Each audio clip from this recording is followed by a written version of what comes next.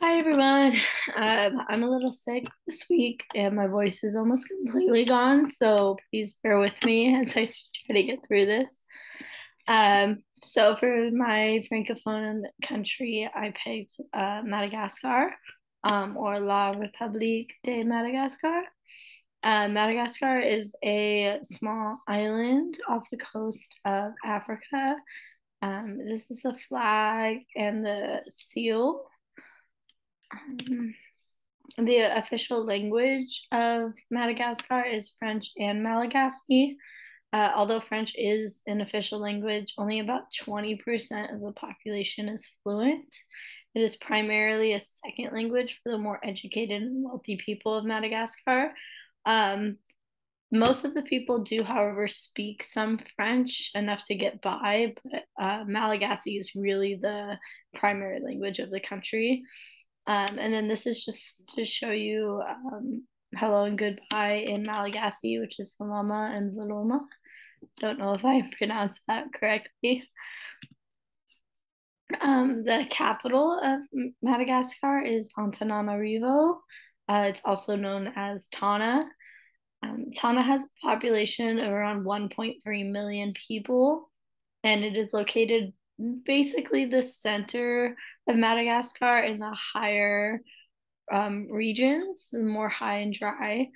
Uh, some of the main tourist attractions in the capital are the Rova Palace complex ruins, which were once home to the rulers of the kingdom of Imerina and the kingdom of Madagascar in the 17th through the 19th century. Another tourist hotspot is the Musée de l'Art et d'Archéologie. Uh, if you're in the mood to see wildlife, you can also visit Lemurs Park or the Croc Farm. And these are just some pictures of those places. So this is the Rova Palace complex ruins. Uh, this is the Musée de l'Art et d'Archéologie. Uh, Lemur Park and Croc Farm.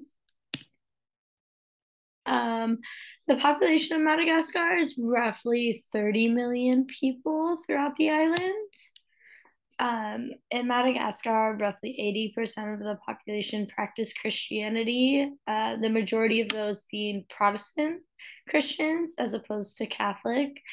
Uh, however, about 7% practice traditional faiths, such as Fambagasi, which is a form of the Malagasy mythology, um, Malagasy mythology has lots of different forms. Um, there's a lot of different um,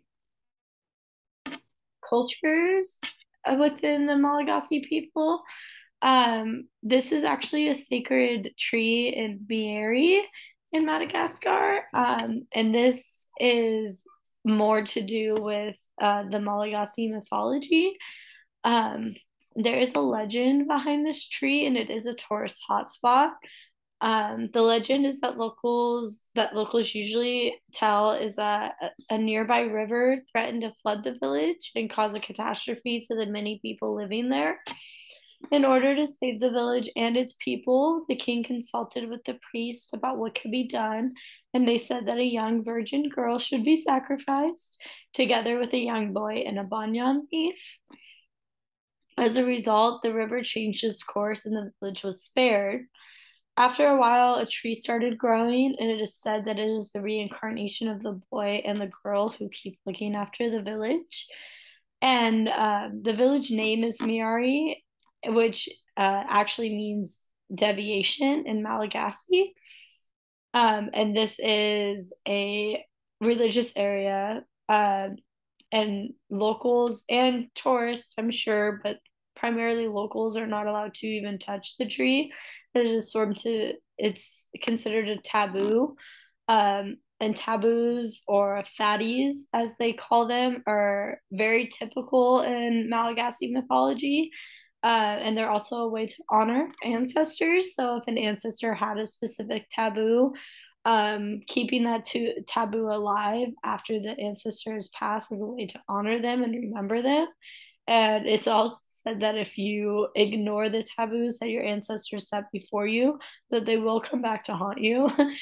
um, and Malagasy mythology, although it's not practiced as um, widespread as it used to be, even in Christian um, religious sections and Christian people, Malagasy mythology is still pretty pre- prevalent, and they do incorporate a lot of the traditions into their practice in Christianity, which is nice to see.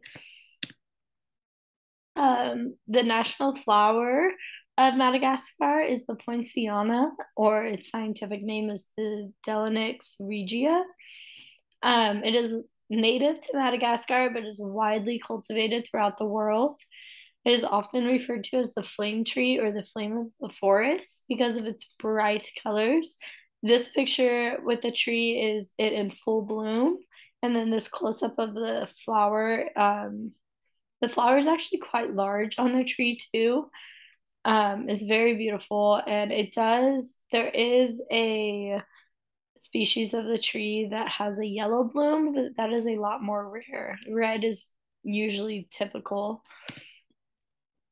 Uh, the national sport in Madagascar is rugby.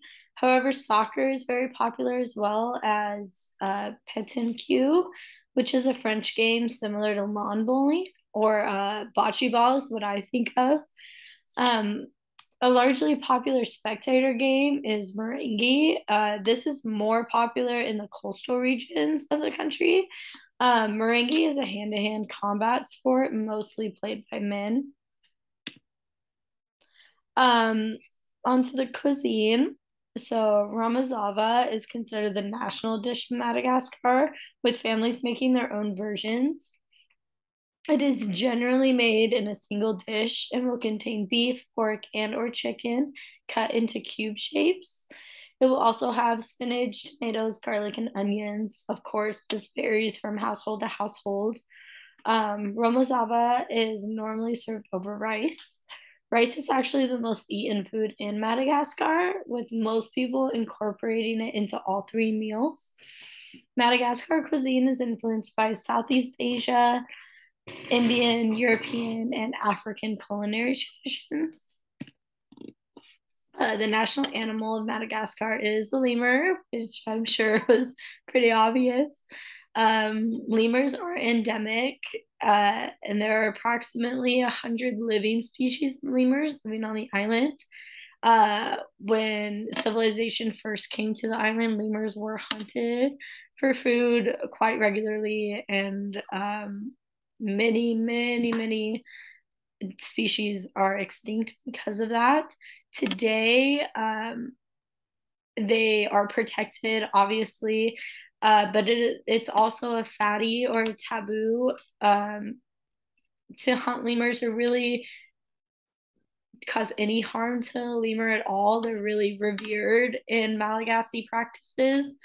Um, and the national bird, the national bird of Madagascar is the Madagascar fish eagle. It's also known as the Madagascar sea eagle. Uh, this bird is cons- considered critically endangered, with its main threats being deforestation and soil erosion. Uh, Madagascar is considered a biodiversity hotspot. So 90% of plant and animal species are endemic, which means that they're only found in this particular region. Um, this is mainly due to Madagascar being so isolated. Um, and it's really one of the only places like this, if the only place like this on Earth that has such a huge biodiversity region that is only found here. Um, so these are just some examples of some of the cool animals that I found. Uh, this is the Sifaka lemur, and it's actually called that because that's what its call sounds like, Sifaka. Uh, Madagascar ibis is a forest bird. The red fody, and then this little guy is the nano chameleon. Uh, this is actually a fully matured chameleon. Um, this is as big as they will get. They're very tiny. And this is it on the tip of somebody's finger. Um, these are found, if you can spot them, in dry forest areas. Um, and then this is the fossa, which is a cat like um, animal found in Madagascar only. Um, and that's it. There's my citations. Okay, thanks.